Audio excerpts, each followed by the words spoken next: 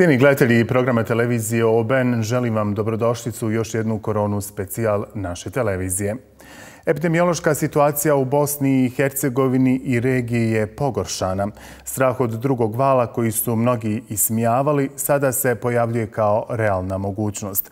Iz kriznog stožera Federalnog ministarstva zdravstva podsjećaju da su na snazi mjere prevencije i osobne zaštite čim pridržavanjem svi zajedno možemo spriječiti širenje virusa. U Federaciji Bosne i Hercegovine u protekla 24 sata u pet kantona registrirano je 26 novih slučajeva COVID-19. Novi slučajevi registrirani su u Zeničko-Dobojskom, Tuzlanskom, Unsko-Sanskom, Hercegovačko-Neretvanskom i Sarajevskom kantonu. Tešan je trenutno najpogođeniji koronavirusom. Ministar zdravstva Zeničko-Dobojskog kantona ističe da zaraženi nisu postupili u skladu sa propisima kada je u pitanju način liječenja. Mi smo u Zeničko-Dobojskom kantonu obavili niz razgovora i sa inspekcijskim službama, sa tužilaštvom, e, dobili uvide u to što oni rade i pripremaju i mislim da je to jedna dobra opomene poruka svim ljudima da se moraju još uvijek pridržavati naredbi onoga što i krizni štab Ministarstva zdravstva Zeničko-Dobojskog kantona proklamirao na našoj teritoriji. Veliki broj novozaraženih bilježi i Tuzlanski kanton. Trenutno je aktivno šest klastera. Tuzlanski epidemiolozi potvrdili su medijima da je virus potvrđen kod jednog djeteta, zbog čega je vrtić u naselju Stupine zatvoren do daljnjeg. Najavljeno je testiranje djece i zaposlenika. Trenutno su na području ovog kantona aktivna 54 slučaja zaraze COVID-19. Svi ti e, novo oboljeli su u izolaciji i mislim, s obzirom na i ovakvu kliničku sliku i na vrlo brzu reakciju higijensko-epidemiološke službe da doista nema nikakvog razloga za paniku. Na današnjem sastanku Federalnog kriznog štaba kojem su prisustvovali ministri zdravstva i epidemiolozi te predstavnici kantonalnih kriznih štabova iz svih deset kantona u federaciji, istaknuto je da mjere koje je donio Federalni krizni štab nisu ukinute nego samo ublažene, te je i dalje potrebno pridržavati ih se. Jedan od prijedloga bio je da se u federaciji proglasi epidemija. Mi smo vrlo blizu, imajući u vidu da je i svijet još uvijek u pandemiji, dakle nema razloga, mi, mi smo to mogli i prethodno urati, međutim e, stanje e, nesreće koje je bilo proglašeno praktično substituiralo je te u mjeru. Mi sada kad e, u narednom periodu se odlučimo da, da i donesemo, a evo imamo i zahtjeve dva kantona, očekujemo i trećeg, bit će uvjeti svi ispoštovani i sa time ćemo moći da efikasno nastavimo naše djelovanje. U Republici Srpskoj koronavirusom zaraženo je još 27 osoba. Radi se o 9 muških i 18 ženskih osoba, od kojih su 6 mlađe, 14 srednje i 7 osoba starije životne dobe. U Bosni i Hercegovini do sada je koronavirusom zaraženo ukupno 2775 osoba. Uspješno se oporavilo njih 2063. Do sada je preminula 161 osoba. Idemo sada do regije. Na Kosovu je Institut za javno zdravlje iz Prištine evidentirao novih šest slučajeva zaraze. Kako su saopćili iz instituta, utorak su testirana 294 uzorka. U Sloveniji je utorak provedeno 738 testiranja kojima je koronavirus potvrđen kod još dvije osobe, ali već tjedan dana nema smrtnih slučajeva. Nacionalni stožer civilne zaštite Hrvatske izvijestio je u srijedu o dva nova slučaja zaraze koronavirusom, a radi se o osobama iz Primonsko-Goranske županije i Zagreba. U nastavku naše emisije pogledat ćemo i ostale informacije iz svijeta kada je u pitanju koronavirus. Neke su se države proglasile korona-free zonom poput Novog Zelanda, olakšanje je vidljivo na svakom koraku. Divno je vratiti se u normalu nakon svega. Podaci Kraljevskog koleđa iz Londona govore kako je rani oštri evropski lockdown spasio preko 3 milijuna života. Međutim, i pored ovog optimizma, virus se ne prestaje širiti planetom. Mnoge su zemlje objavile kako imaju povećani broj inficiranih, na što pozornost je skrenula i svjetska zdravstvena organizacija. Indija se ovih dana vraća u lockdown nakon što je primjećen porast broja zaraženih. Gospodarski zemlja stoji jako loše, pa je mnoge iznenadilo uvođenje novih mjera. Prosjedi u SAD-u rasplamsali su COVID-19 zarazu. Zemlja koja ima preko 2 milijuna oboljelih dosegnula je plato ovih dana. Jučer je po prvi put u dugo vremena zabilježeno 20.000 zaraženih u jednom danu. New York se strogim mjerama uspio nekako obraniti, ali virus sada prijeti u devet država koje su imale blaže mjere. Riječ o državama na istoku i zapadu. Pandemija koronavirusa i dalje odnosi živote u zemljama Latinske Amerike, posebice u Brazilu i Meksiku.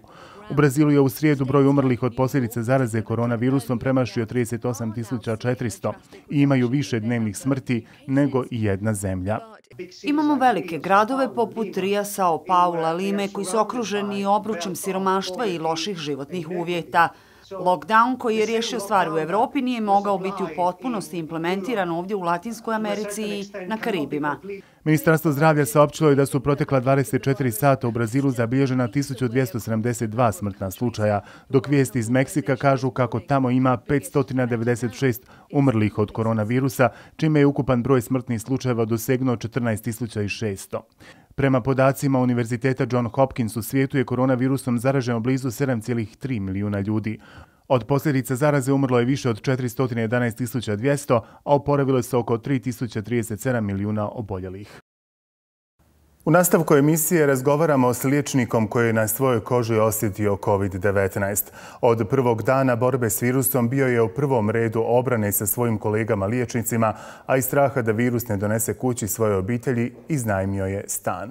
S nama je načelnik klinike za plućne bolesti UKCA Republike Srpske dr. Mladen Duronjić, kojem želim dobar dan.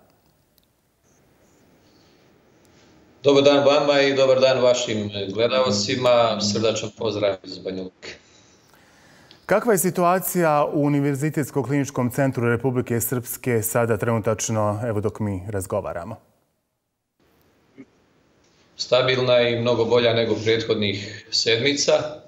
Trenutno imamo 20, oko 2 plus minus iz dana u dan, oko 20 pacijenata, a doskora je bilo preko stotinu oko 20 broj pacijena, od toga dva ozbiljno na respiratoru. E, dakle, uopšte broj pacijenata oboljelih se smanjuje i broj ozbiljnih pacijenata se smanjuje sa ozbiljnom kliničkom slikom.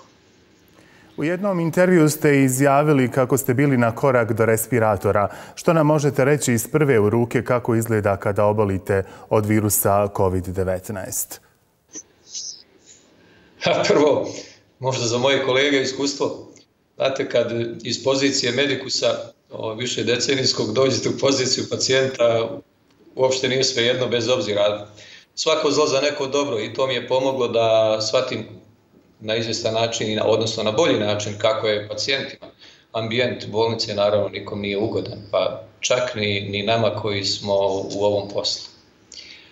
A sve ono što sam imao priliku da govorim ranije u medijima o ovoj bolesti, prije nego što je nastupila kod mene, e, imao sam priliku i da doživim. Dakle, ova bolest, čak i, i tu njenu možda osnovnu osobinu po nas u ovoj sezoni, nepredvidivost. Pokazala se, pokazala je baš prije svega to svoje lice, a onda i sve ostalo. Što se tiče kliničke slike i simptoma, Čini mi se da sam e, sve simptome imao koji su vezani za ovu bolest i počev od malo opisivanog i malo prisutnih crvenilo oči u konjuktiva i pa do onih najčešćih koje su povišena temperatura i glavobolja u preko 70% oboljelih Ja, moja klinička slika je spadala u, u srednje teške kliničke slike, tako je okarakterisana. E, počelo je, rekao bih, uobičajeno sa osjećajem umora i jedne noći groznica, odnosno osjećaj hladnoće, posle toga temperatura koja je išla možda do 38, više ne. Gubitak apetita, apsolutno, i sama pomisao na hranu je izazivala osjećaj gađenja. Posledično tome opšta malaksalost, kašalj koji je bio u početku blag, suv, a posle toga intenzivan suhi koji je u početku bio dosadan, a posle toga, posle 7 do 10 dana nesnošljiv koji je ograničavao govor, gubitak, ha, gubita opšta malaksalost i e, osjećaj, osjećaj nedostatka vazduha. Nakon svake druge ili treće rečenice morao sam da uzmem, da duboko udahnem. Mm, otežan hod, pa gotovo i sjedenje. Kad sam od prvih simptoma sam ostao nekoliko dana u izolaciji. E, zapravo, tamo gdje, gdje sam bio od početka ove kampanje, e, činilo mi se da je vrlo teško ostati e, neinficiran, nezarašen. Zbog toga sam i iznajmio jedan manji stan da bih e, poštedio moju porodicu, eventualno zaraz i ispostavilo se kao potes. Nakon prvih simptoma ostao sam dva dana uz tri u izolaciji, posle toga je zanimljivo naravno da je prvi test PCR od mene bio negativan, posle toga pozitivan. I nakon 5 do 7 dana kliničke slike i simptoma bolest se pokazala predstavila u svoj, svojoj uh, snazi, intenzitetu i neprijatnosti. E, to napomenem od prvog, od sam prvog trenutka mojim kolegama sam bezgranično vjerovao i naravno bio u pravu. E, videvši šta čini ne samo za mene, nego za, za, za pacijente koji su bili moji sapatnici tad na, na COVID odjelu. Tretirani smo praktično isto. I mm, naravno sve to rezultiralo eto, na kraju i mojim oporavkom koji još uvijek traje. Kažem, sve ono što ova bolest donosi, sem eto, korak do respiratora, pa posle toga nazad, e, sam doživio čak i koje promjene opisivane promjene koje ova bolest e, ostavlja, odnosno djeluje na parenhimske organe, ne samo pa na pluća, srce, krvne sudove. Ja još uvijek u plućima nosim jedan mali tromb kao posjećanje na tu bolest. Da, evo vi ste to iskusili na svojoj koži, međutim od početka pojave COVID-19 mnogi ga upoređuju sa običnom gripom i minoriziraju njegovu jačinu. Zašto je došlo do te konfuzije i koliko su zapravo slični gripa i COVID-19, ako nam možete pojasniti? Da, dobro ste kazali ovo zadnje, konfuzija. Znate, ono što je sigurno, što je, što je sigurno u vezi sa ovom bolešću, to je izazivač, to su putevi prenosa i to su dokazi o oboljelim. Zašto, kažem, dokazi, pa e, e, na raznim forumima, na raznim mjestima moglo se čuti svašta, da to i nije bolest, da oboljeli pitanje da li su oboljeli i tako dalje.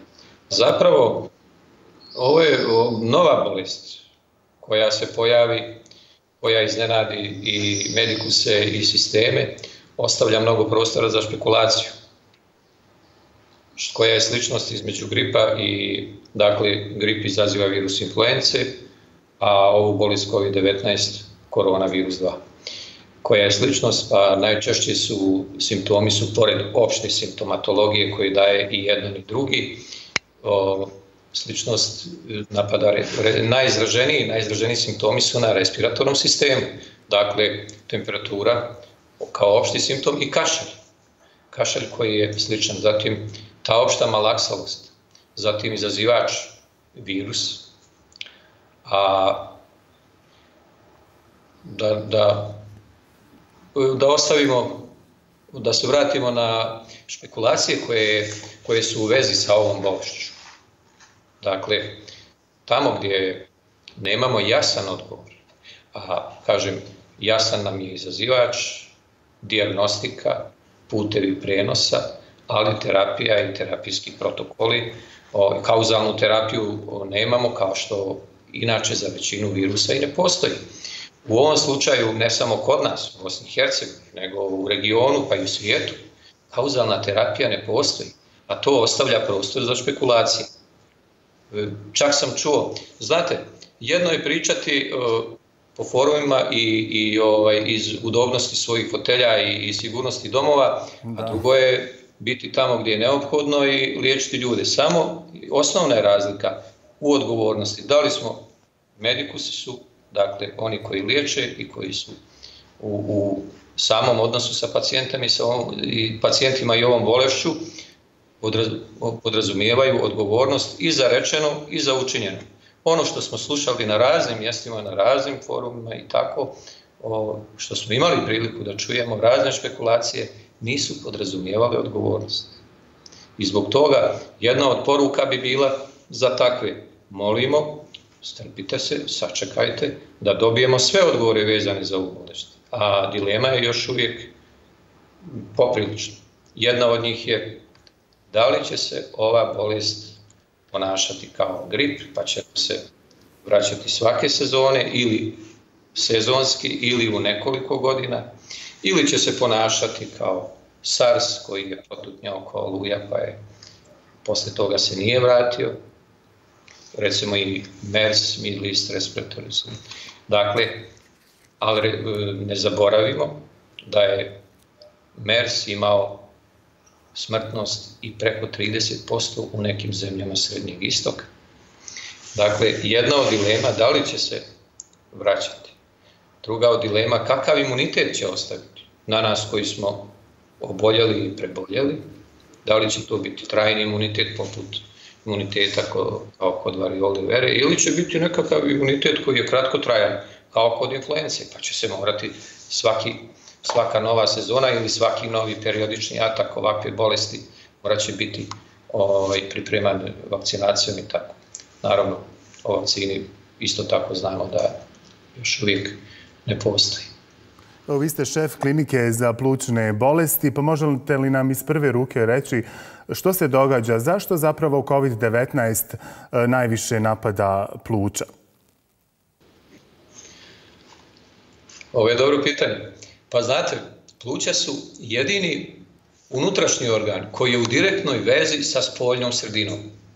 Preko naših gornjih disajnih puteva, preko ovaj, posle toga dušnika, su u direktnoj vezi. I, a ovaj virus se prenosi, prenosi, on se prenosi aerosol, prenosi se kroz vazduh. I o tom prenosu smo isto slušali u proteklim sedmicama i mjesecima gotovo sve. To je, dakle, pluća su i sluznice, isto tako očiju, sluznice, disajnih putiva, nosa, usta, isto tako su izložene. Sve ono što je u direktnoj vezi. Drugo, e, postoje dvije grupe pacijenata koje su e, ugrožene kod, e, grubo rečeno, ali ne sasvim i precizno, ali možemo ih karakterisati kao dvije grupe koje su izrazito se pokazale o, ugrožene u kontaktu sa ovim virusom. Jedna je ona sa pridruženim bolestima i sa koje bi smanjile imunitet, odnosno otpornost organizma i druga grupa je, to je onaj paradoks vezan za ovu, ovu bolest, da sa pacijenti dotad zdravi, relativno mladi, u dobroj formi, sa dobrim imunim odgovorom, sa dobrom, sa dobrom otpornošću organizma, koje bi imale tešku kliničku sliku, što je jednim dijelom i nedovoljno razjašnjeno. Smatra se da je taj prenaglašeni snažni imunni odgovor došao u kontakt sa agensom, odnosno sa virusom koji mu je dotad bio nepoznat i na koji odreaguje, to je paradoksalno, svojim paradoksalnom naglašenom reakcijom imunološkom i samim tim doprinosi teškoj kliničkoj slici. To je, imate primjere vrhunskih sportista, odlično pripremljeni koji u kontaktu sa ovakvim virusom imaju tešku kliničku sliku. I uglavnom dominira opet respiratorna, respiratorna simptomatologija.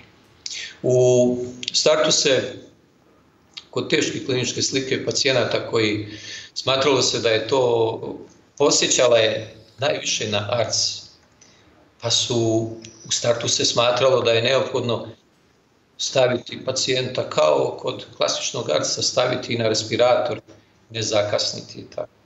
Posle se mnoge, mnoga iskustva kolega u, u, i u regionu i u svijetu su pokazali da bi e, možda i sačekati sa tretmanom na respiratoru, a ostaviti mogućnost visokim protocima kiseonika, tretmanu sa visokim protocima kiseonika. Da, evo, stalno slušamo kako nema lijeka ni cijepiva, ali postoji način na koji se naravno jeli, tretiraju pacijenti oboljeli od virusa korona. Što liječnici čine u nedostatku lijeka i cijepiva o kojima slušamo evo, svaki dan?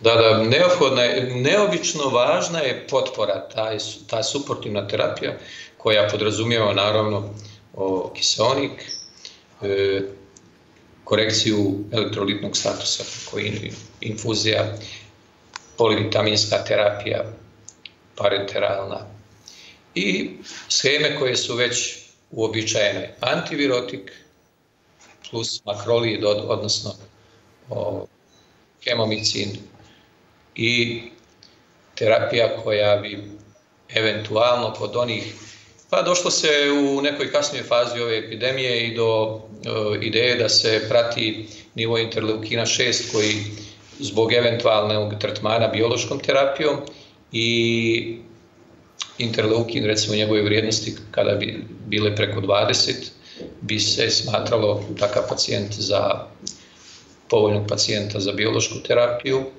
koja je kod nekih pacijenata dala dobar odgovor, I naravno, u zadnje vrijeme, o, tretman COVID plazma.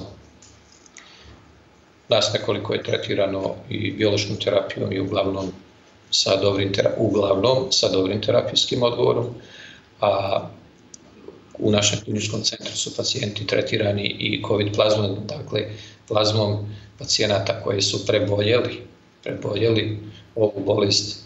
Isto je u kod nekih teških kliničkih slika dala je dobar odgovor.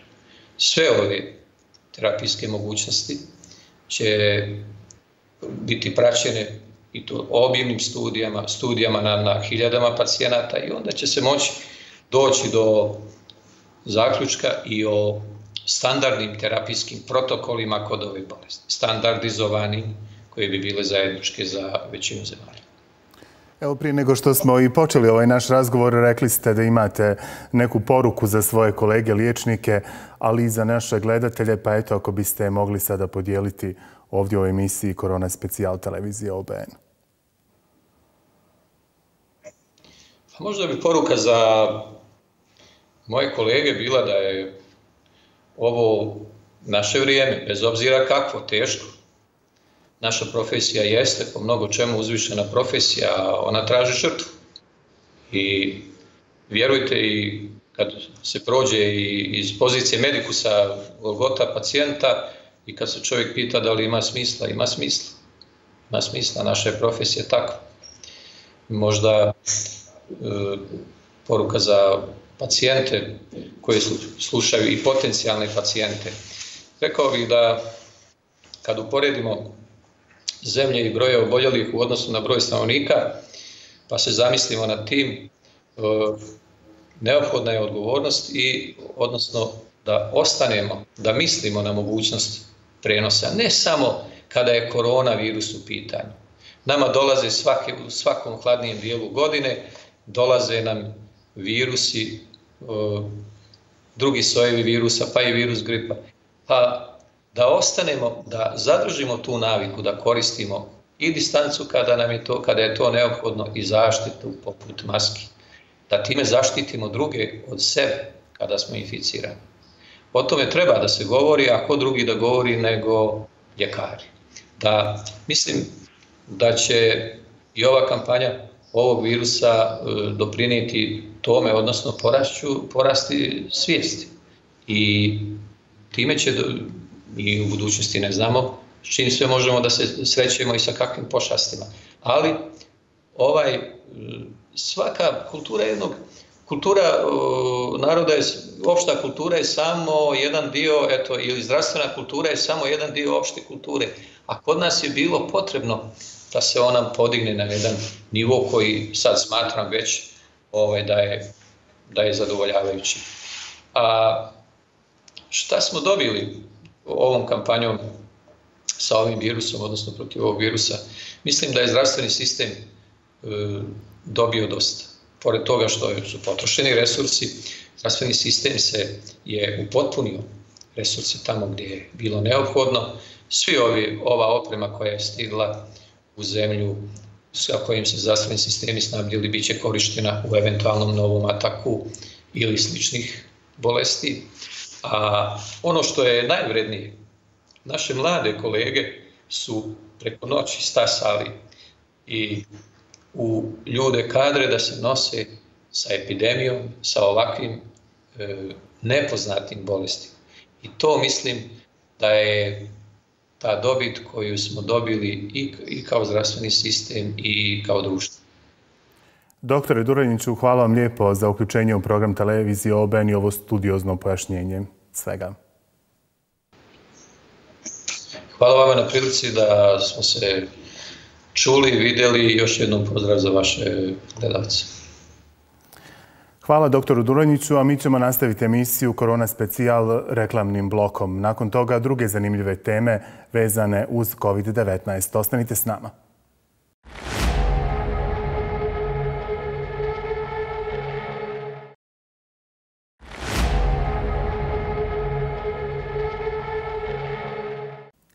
Dobrodošli natrag u Koronu specijal televizije OBN.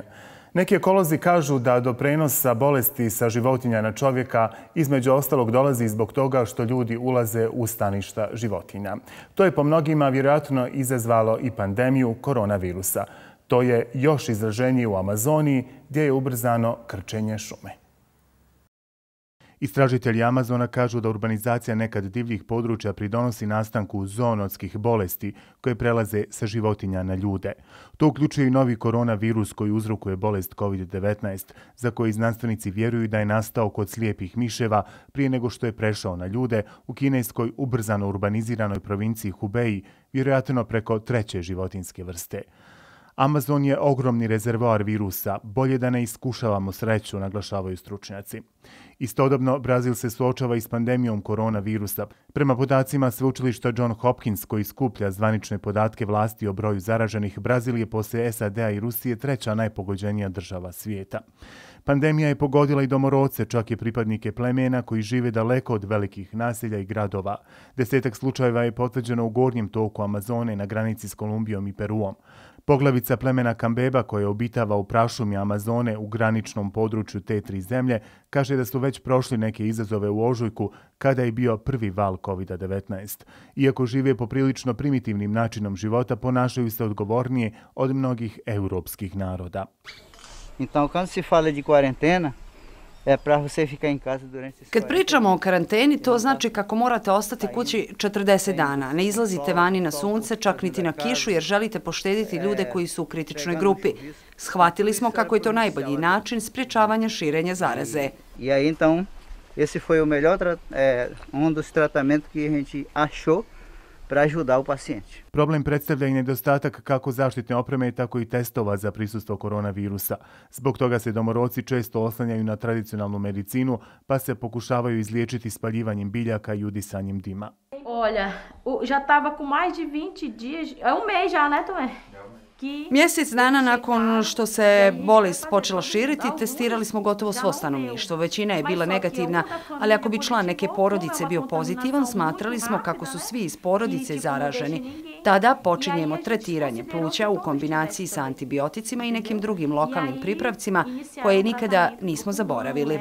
Um antibiótico junto com a medicação caseira, claro, que a gente nunca abandonou. Neka nasilja u kojima su potvrđeni slučajevi COVID-19 udaljena su od većih gradova i bolnica koje se bore s manjkom ventilatora za disanje i više od 1000 kilometara. Bolest se mahom širi tako što mlađi stanovnici odlaze u gradove kako bi prodavali ribu ili gospodarske proizvode te podigli novac koji dobivaju kao pomoć od vlade i potom se vraćaju u svoja udaljena sela. Organizacija koja brine o autohtonom stanovništvu Brazila, krovna organizacija brazilskih domorodaca APIB, izvijestila je da je koronavirus potvrđen u gotovo 800 slučajeva među 40 plemena, a pandemija je toliko pogodila Manaus, grad u kojem živi oko 2,2 milijuna stanovnika, da su bolnice ostale bez slobodnih kreveta, dok se na glavnom gradskom groblju mrtvi pokapaju u masovne grobnice. Pandemija je žestoko pogodila na tisuće malih biznisa, ali nekima je donijela i porast prodaje. Možda vam zvuči čudno, ali istina. Karantena je prvo u fokus stavila toaletni papir, a potom su došli na red i bicikli. Cvjeta njihova prodaja, a države grade nove kilometre biciklističkih staza. Mnogo ljudi sada putuje na posao biciklom, a pored toga i potreba za aktivnošću je porasla. Sve je to dovelo do enormnog porasta prodaje bicikala. Ekolozi su jedva dočekali ovaj podatak, ali i vlasnici trgovina biciklima. All over the world, and especially with COVID-19, Došlo je do ogromnog porasta biciklizma za vrijeme karantine u cijelom svijetu. Ljudi su bili zatvoreni i sada žele što više biti vani, žele biti aktivni. Plus nema sportskih događanja na koje bi otišli. Milioni ljudi u našim gradovima koji imaju bicikle nikad ih ili rijetko kad koriste. Generalno je i jako porasla prodaja bicikala. Najveći britanski trgovac biciklima navodi kako je prodaja neke biciklističke opreme porasla za 500% na početku karantene. Mnoge male prodavaonice prodavale su cijele zalihe posljednjih tjedana i čekaju isporuke novih. Kompanija Broadrib Sykes, koja obično prodaje 20 do 30 bicikala tjedno, sada prodaje 50 svaki dan. Kompanija Brompton navodi kako je njihova prodaja bila na istom nivou kao za Božić i prije nego su ministri počeli promovirati biciklizam kao izlaz iz karantene. Iz kompanije Evans Sykes navode kako je neviđena potražnja za biciklima te sada očekuju novu isporuku. Pojedini Britanci su čak tražili da im se omogući servis starih bicikala. Za dobrobit našeg zdravlja i okoliša, vrijeme je da ljudi promijene svoje navike i počnu biciklom ići na posao, naravno u slučajevima i gradovima gdje je to izvedivo. Postoji veliki plan o tome kako bismo mogli pomoći ljudima da stignu na posao, ne koriste javni prijevoz ili aute.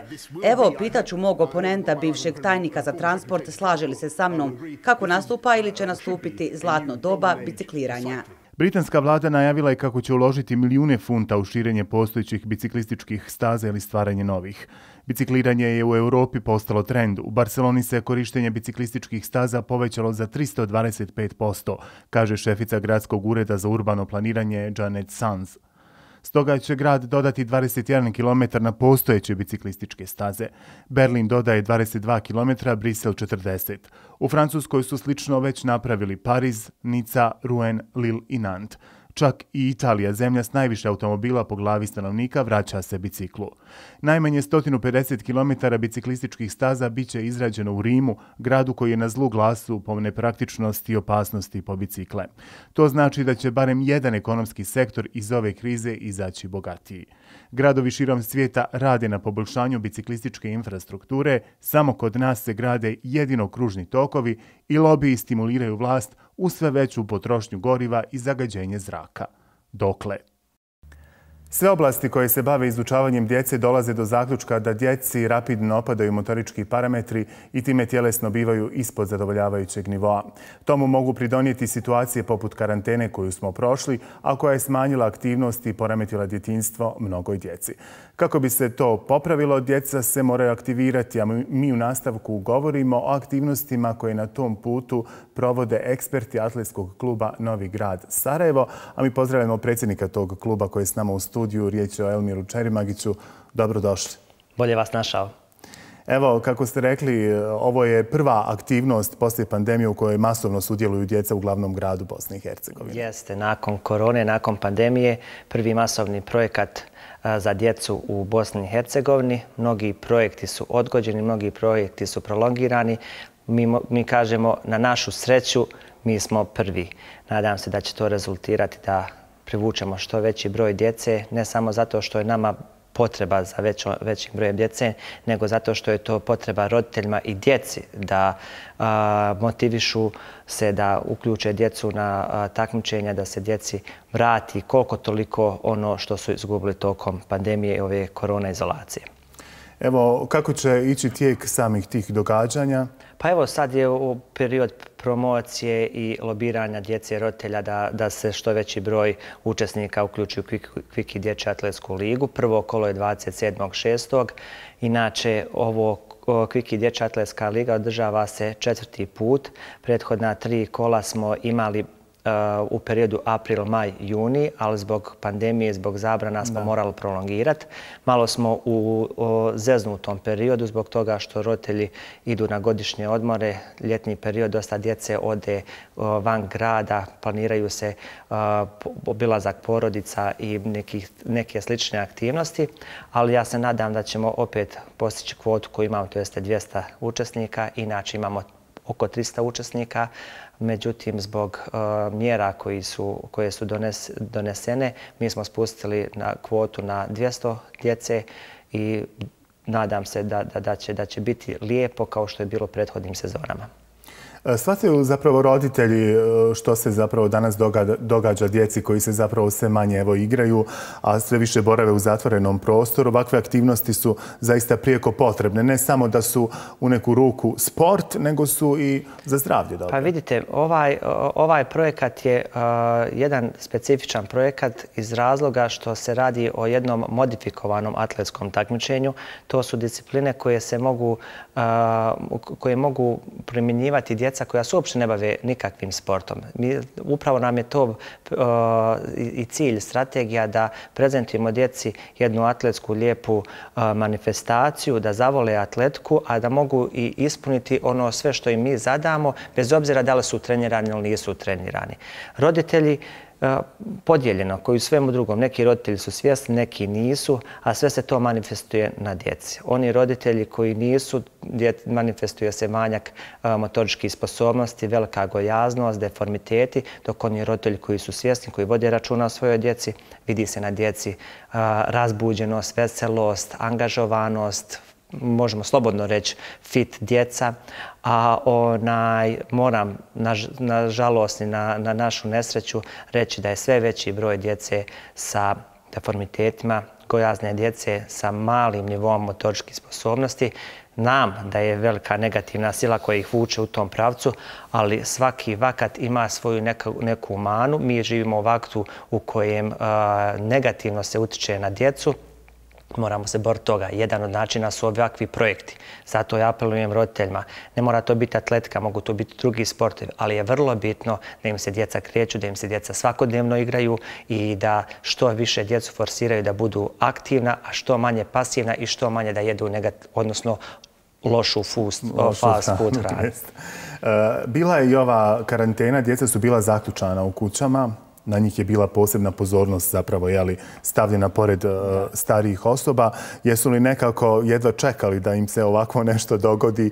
Pretpostavljam da uh, djeca su navikla da idu u školu, da imaju neke obveze, a desilo se jeli, da imaju da su samo u kući. Da su samo u kući. O, ja, mi kažemo često prvih pola mjeseca ono karantene što je bilo, da je to bio raj za djecu televizor, kompjuter, mobiteli. Roditelji su nekako htjeli da inhibiraju dosadu tako što su im davali te stvari.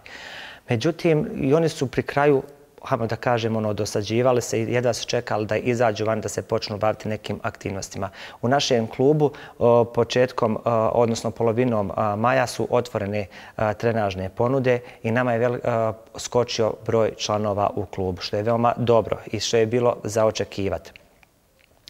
A onaj, moram istaći tu činjenicu da su performanse većine djece dosta niže nego koje su bile uh, pred koronu. Da, to je očekivano. Ja vjerujte mi da imam neke djece koje sam trenirao uh, i online putem, ali kad smo došli na pravi situacioni fizički onaj trening, i ta djeca su dosta oslabila. E, mogu misliti šta je sa onom djecom koja nisu imala online trening, koja nisu radila online treninge i aktivnosti u, kući tokom karantene. E, vjerujte mi da, da je to kad su se vratila, kad su došli na trening, da su ti treninzi spušteni na nivo zagrijavanja prije nego što je bilo tokom ove izolacije moraju roditelji biti svjesni da su oni njihovi, e, da su roditelji prvi trener svoje djece, da moraju voditi računa o njima, ali je nažalost često situacija da roditelji toga budu svjesni već kad budu kasni. Kad bezbroj puta se desila situacija da roditelj dovede dijete sa 13-14 godina i kaže ne želim ja njega da bude profesionalac, ja želim samo da, da, da ga malo naprijedite. Mislim se u sebi, evo sad kažem, i da želite ne možete više samo moramo zajednički rad, mi eh, kineziolozi, vi eh, roditelji, a evo na kraju krajeva i vi mediji, eh, da izvučemo djecu iz ovog, ovog haosa u kojem se oni nalaze, pričam samo o, motoričkim, psihofizičkim onaj, pravcima, jer ako ne, onda će ta djeca srađati manje, manje, manje sposobnu djecu i to ode u, u krug koje možda neće biti spasa. Naravno, vas postoji, postoji izuzeci, kvalitetna majka i kvalitetan otac, otac daju kvalitetan potomak. Mi to osjetimo na, na, na, na broju detektovane talentovane djece sve manje talentovane djece. Zašto to sve ovi razlozi? Ali eto, moramo se truditi, moramo moramo naći talenta da napravimo sljedeće Gamla Tuku i sve naše olimpice koje smo imali. Evo sad sam to htio da pitam kao posljednje pitanje u ovom razgovoru. Je li porasla popularnost atletike kod mlađih generacija nakon što smo dobili jednog takvog prvaka kao što je Amel Tuka? Ja sam dosta u saradnji sa atletskim klubom Zemca. Kada je Amel Tuka napravio prvi rezultat popularnost je drastično porasla. Sad ne znam kako se je dešavalo ovo zadnje vrijeme. Međutim, aktivnosti kao što su Kviki Dječja atletska liga, naš atletski miting Novi grad Sarajevo i rad drugih klubova u gradu Sarajevo su uveliko ispopularizirali atletiku. Atletika je bazan sport i roditelji postaju svjesni da im dijete treba kvalitetan rast i razvoj. Djete dijete u periodu od 5 do 12 godina prolazi kroz veoma bitne senzitivne faze. Ako ih tom periodu ne iskoristimo, nikad dijete neće moći maksimalno iskoristiti potencijale koje je imalo. Zato je bitno u 5 do 12 godina da se dijete bavi sportom. Ako je, pomogu, ako je moguće da se bave atletikom, bilo bi to dobro. Kasnije, kad on napuni 12 godina, 13 godina, kad već prođe te senzitivne faze, kad se obogati atletskim elementima, može da ide gdje god hoće. Jer dobar futbaler treba da ima dobru atletsku vrijednost. Ako nema dobru atletsku vrijednost, neće moći iskoristi taj talent koji imaju u futbalu. Biva slučaja da, da se može, ali veoma je dosta lakše, već, veće su mogućnosti, e, manje su mogućnosti za povredama i tako to je jedan kineziološki lanac koji mi mogli dosta puno da pričamo, ali uglavnom ono je bitno da poruka roditeljima ode. Ako želimo jednog sljedećeg Amela Tuku, moramo to krenuti od malih nogu. Evo, nek to bude poruka za kraj ovog razgovora. Elmire, hvala ti lijepo što si podijelio evo, ove informacije s nama i srećo sa zdravljem, a i sa radom. Hvala vama i nadam se da će Kviki Liga zaslužiti ono što, zasluž, što je zaslužila i prethodnih godina. Hvala lijepo. A mi nastavljamo našu emisiju Korona specijal novim reklamnim blokom. Kada se vratimo, idemo na jednu estradnu priču. Ostanite s nama.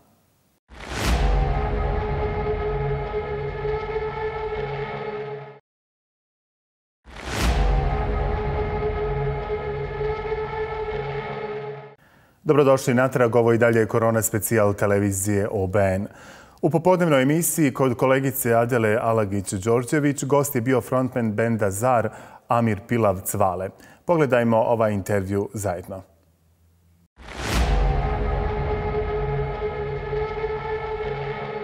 Naš eh, današnji gost u studiju, eh, frontman eh, rock benda ZAR, gospodin Amir Pilav. Dobar vam dan i dobrodošli. Dobar dan, hvala vam na pozivu. Ja bih rekla da ste direktno došli iz Njemačke ovamo, ali bilo je nekih pauza, recimo. Kako ste putovali? Pa može se tako reći. E, znači, direktno s puta, faktički, evo, jutro sam stigao prije par sati i evo, odmah malo sunca i, nažalost, evo, ponovo kiše i tako dalje. Put sam, odličan, nikakvi posebni kontrola na ovom našem predivnom vremenu korone. Eh, ulazak u Bosnu jednostavan, bez nekakvih zastoja. Primijetio sam samo na drugoj strani više za izlaza i tako dalje. Uglavnom, dobro lijepo, predivno. Dobro, možda bude malo zastoja kad, bude se, kad se budete vraćali, ali prosto procedure su eh, takve. Drago mi je da ste dobro putovali, da nije bilo nekih eh, poteškoća. Moramo reći da ste vi bend sa adresom, egzistirate u Njemačku, je zapravo cijela priča iz Bosne i Hercegovine. Pa evo, porijeklo svih nas e, je bosansko, naravno, svi smo mi iz ovih područja, Slavonski brod, e, Tešanj, e, Bihać i Tešanj. Naravno, i ponovo Minden Tešanj. Povezujem ja ne najmlađeg ovog člana gitarista benda, to je Patrik Sin.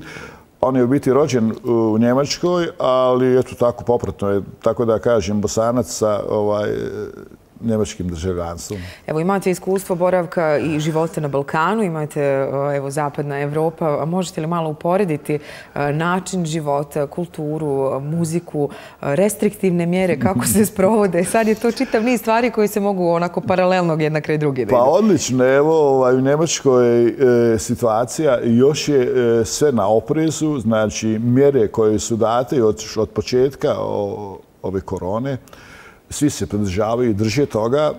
E, prednost naša, jedino svih gore, je bila što nismo bili ograničeni u kretanju, imali smo slobodu kretanja pod određenim uslovima da držimo rastojanje od metar i po do dva, da nema okupljanja nikakvih i tako dalje i tako dalje. Ovdje e, primjećujem, evo koliko slušam radio i televiziju, malo pratim ono usput, pogo sad radio u toku vožnje, slučajeva nekakvi se pojavljuje Tuzla, ne znam ja, pojave se Tešan i par ti lokacija, ljudi, koliko vidim, apsolutno dođem na različim benzin, kažem masku, nosim masku, stalno imam u džepu ili u auto je stalno, i rukavice, masku i dezinfekcijon smitel. Ne, ne, ne, ne, ako nema, to nije problem, preživit ćemo i tako dalje. Znači, ovaj, tako nekakve ovaj, stani se nije promijenilo, nažalost. E, međutim, ovaj, ljudi se ne pridržavaju ovdje baš, baš nekakvih određenih mjera. Jel? E, razumljivo. E, ovaj period od, od februara i tamo e, svi smo stradali na nekakvi način psihički, ne znam, ja ograničenost. Jer čovjek kad je zatvoren, stisnut, onda, onda, onda, onda je tu bunt E, buntovane, ali nažalost treba iskoristiti taj period u sasvim nešto drugo ili ovaj e, probat nešto drugo napraviti, uraditi, jednostavno ne zmišljati o takvim stvarima. Mi, smo, mi smo se pridržavali, jedan dobar dio vremena kako je bilo, nekih 60 dana, bile su jak, e, stroge mjere su bile, ali bile su i sankcije poprilično oštre, tako da smo se, tako mi na Balkanu funkcioniramo. Ide kazna i to je to, da se pridržavamo. Sad je malo sve nekako popustilo i povoljnija epidemiološka situacija, mada oni svakako najavljuju uh, neke možda moguće druge valove i tako dalje. Neću vas pitati može li se živjeti od muzike, prosto to je ljubav u pitanju prije svega, ali ću vas pitati koliko je vas, muzičare, pogodila pandemija koronavirusa? U evo razgovoru sa vašim kolegama možda. Jako, jako, jako, jako. Mi imamo sreću što ovaj, ne živimo direktno od muzike, ovaj, to je nekakva prednost, a možda i ko zna.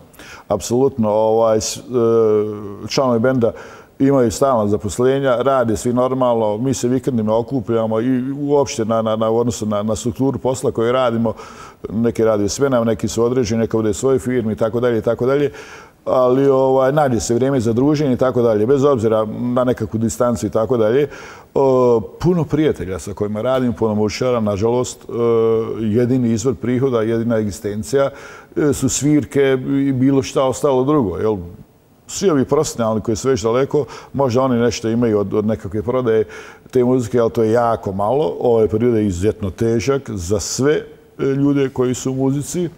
Ja kažem, ono može se nazvati, ova, ja, muzika spada u jednu uslužnu djelatnost, da, da, da je tako nazovemo. Usko je vezana, da. Nažalost, ovaj, sve svadbe, sve svirke, e, sve, e, sve dislocirano, tako da je ja, jako težak period. E, primjer, evo, očiti primjer, Igor Vuković, mi smo izuzetno dobri i prijatelji i drugovi. Da, vi ste pro, krajem prošle godine i duet ste snimali, Jeste, čini mi se. Ova, Igor je jako radio na našem projektu i ja i, i on smo uspostavili jedan određen, jednu određenu nismo dobili. E, planirali smo veliki projekat u Njemačkoj, da on radi nekakve projekte za, za, e, za evropsko tržište, ali nešto nešto, nešto izuzetno jako i dobro, sasvim drugu strukturu što on radi ovdje, E, neke naše projekte i tako dalje, e, oformili smo i kompletan muzički studio i sve su odračenjem pripreme, čak za neku školu, gitare i pjevanje i puno niz nekakvih struktura.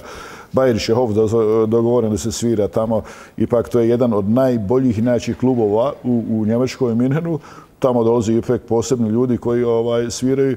Nažalost, to je e, sve ovaj otkazano i Nemci su ili čitava Njemačka je otprilike negdje do e, oficijelno oficijalno sad e, uredba do 31. augusta nema nikakvih okupljanja, nikakvih svirki.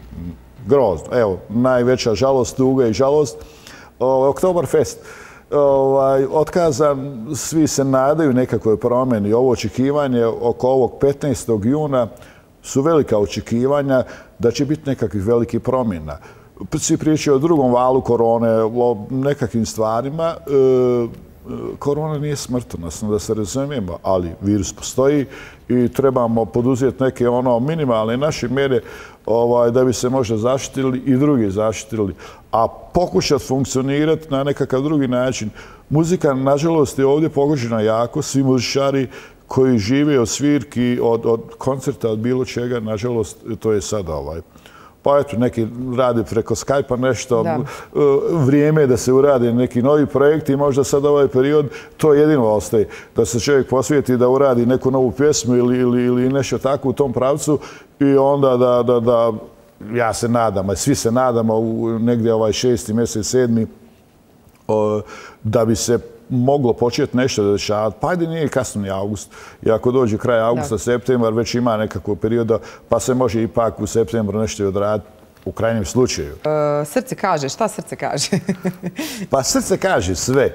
O, ja, e, ja pokušavam u stvari u životu, tako je, ovaj, nadam se da je svi tako, kažu nešto odavde iz duše, od srca nešto kad se uradi, da se to uradi s ljubavlju, s ljepotom i tako dalje. Tako je ovaj album, ima nekakvu poruku e, da je to priča o ljubavi, ljepoti, o bliskosti, E, E, najdraži, najbliži svojih familije, djece, prijatelja i pozitivnih ljudi u stvari. I da to tako treba da bude, jednostavno. Ovaj, rock and roll živi već odavno i stalno je tu. Ja sam odrastao u 80-im i moj period je e, tog života e, gdje smo imali nekakve strukture lijepog života, lagodnog. Ja kažem, čovjek kad se ošao slobodno, onda je, onda je najljepši, apsolutno. Taj period je bio toga. Pa dešavalo se svašta kod nas, kao što se i dešava uvijek i dešavat će se i buduće. Naravno, dolazilo do promjena. I evo, poslije, ne znam, ja, niz godina i nekakvih prevrtanja, uspova, padova u životu, ko svako ovaj, ima, prvi ja, pa počinjem o sebi i tako dalje, ovaj, evo, rodilo se ovo, ovo srce, srce kaže ovaj, ovaj album, jedna, jedna životna priča, E, ja dosta polažem na muziku, a polažem na tekstualno jako puno toga. Ovaj, ovo u biti, ovaj, neki će se pronaći ovim tekstovima, ovim porukama, ja se nadam mnogo njih. Ovo je čisto neko životno iskustvo, poruka priča, e, nestajemo, znači e, u ovom svom vremenu ovaj, radimo i na novom projektu, već smo čak tri pjesme pripremili, već, već i dorađujemo, u, u, radimo i...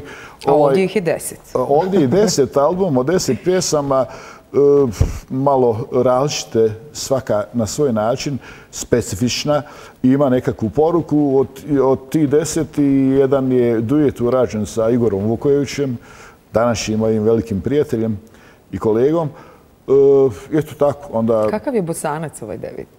E, Bosanac je jedna specifična priča, jedna posebna priča. E, to sam radio sa... Dakle, to je pjesma, deveta pjesma na ovom Jeste, jeste. Bravo. Bosanac je jedna specifična priča. E, radio sam sa Svadom Limnakom. To mi je stariji kolega, prijatelj, zajedno smo je odrasli i svirili smo dugo godina zajedno. I radili smo na, na, na toj pjesmi i ispala je njegova životna priča o biti kad bi se prevodilo. Ali ja kažem, postoji jedan način e, e, kad se dvoje ljudi ovaj, izbliži opoznaju na prvi pogled, na drugi, nebitno, e, onda su ti početci tako, tako loši. Ja kažem uvijek postoji jedna dominantnost. Žena je ta koja nastoji da uvijek dominira, da bude prva u svemu. A muškarac, pa on će sve uraditi. Sve, sve će on nadamestiti, kupit će sve što treba od namještaja, od cipela, torbica, godišnjih odmora, sve, sve, sve. Ali zna se ko je ovaj. Međutim, kad žena to postigne, onda pogotovo kod nas se kaže, evo ga, papučar u periodu papak, to se desilo. Tako da je ova priča vezana ono o početcima, šta kako je bilo, već e, svaki početak je težak, ovaj, naravno, i onda kad se to se postigne, taj cilj kad se ostvari, e, onda, onda čovjek klane, onda, onda, je, klone, onda je neko dominantan, neko je pobjednik. U ovom slučaju, ona je pobjednik. Zanimljiva priča. Ba da. E, može još samo evo pitanje za kraj. Hoće li nas ikad Njemci, nas Balkanice shvatiti? Pa svato je nas već odavno. Ali, Naučili ova, se živjeti s ali, ali mislim, neće nikad. Ovaj, e, mi, e, mi smo po prirodi takvi kakvi jesmo, prepoznatljivi uvijek, ovaj, imamo nešto, nešto svoje. Ovaj, kad moramo, onda se držimo pravila, a kad ne moramo, onda ovaj, obično se kod nas ovdje kad dođemo u Bosnu, onda ne moramo se ničega pridržavati, držati, nažalost. ovaj, ali ne mora znaš da je tako. Ovaj. Nemci, ovaj, mnogi naši nesvetovi Nemci, oni su jako puni humora jako živi ljudi ovaj, voli putovanja, voli zabavi i tako dalje, možda nekakvu strukturu. Ja e, često se zezam sa puno njih, ovaj, na čebi kako nema stolu, ne znam, dvije kile banane, ali ne znam ja čega, kaže, joj, pa šta, onda kad se kupi jedna, evo ga, ono, cicija neće da kupi i tako dalje, što ne mora znači, znači, treba, ovaj, zato ja kažem, u ovom vremenu korone ljudi su, pretpostavljam, naučili da ovaj i, i puno su štedili neki ovaj nema shoppinga žene u kupovinu i tako dalje i tako dalje. Znači šta e, taj svoj luksus ili tu potrebu treba ovaj e, je nadomestiti tačno koliko treba a onaj višak uvijek bolje sa svježim, friškim nešto uzeti, a ne ostaviti pa će to dobiti neku drugu boju i tako dalje drugi dan.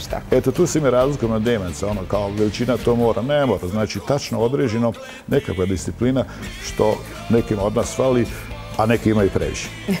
hvala vam lijepo, hvala lijepo što ste uh, izdvojili vrijeme i bili gost uh, našeg korona specijala. Bilo mi je drago, hvala vam lijepo. Ostanite i dalje uz program OBN televizije. Naš današnji gost bio je gospodin e, Amir Pilav, frontman rock benda Zara. Trkom i frkom smo prokleti.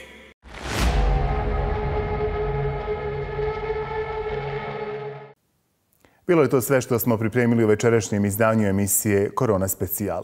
Sutra smo na programu u 16 sati i 25 minuta sa novim temama. Do tada ostanite uz OBN. Doviđenja.